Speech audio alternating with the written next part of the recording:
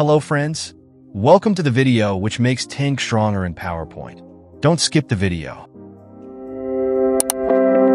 First, right-click on the slide and select the Format background. Choose the gradient option. Then adjust the gradient stops and then choose the color to red. Now, to remove the background of picture, go to the browser. Search for remove.bg. Upload the picture from computer. Then click the download option once the background is removed. Now insert the picture from your computer. Now adjust the picture as I am doing.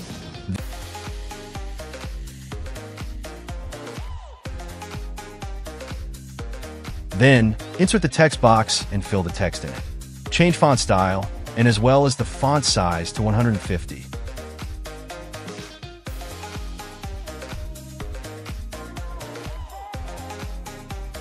After text fill, duplicate the text box using Ctrl plus D and change the text in it.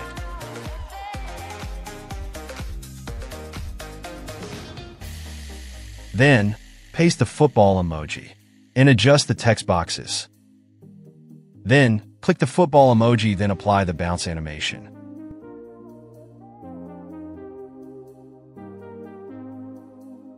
Now, select the specific letters. Then, go to the shape format. Remove the text fill and fill the text outline to white. And also increase the width of the border. And do the same things to second box.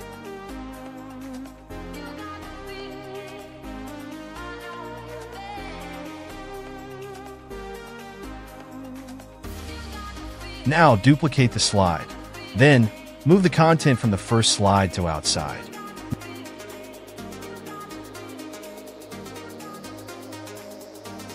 Then, right-click on mouse, go to Format Background, and choose the Solid Fill option, which should be in white. Now, insert the text on the first slide. Select the football emoji and add the bounce animation. Now, check the start for all animation content in with previous.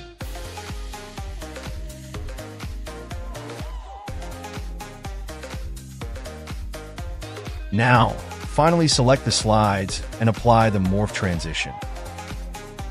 Guys, our stunning PowerPoint presentation is ready. Check out the playlist for more design ideas.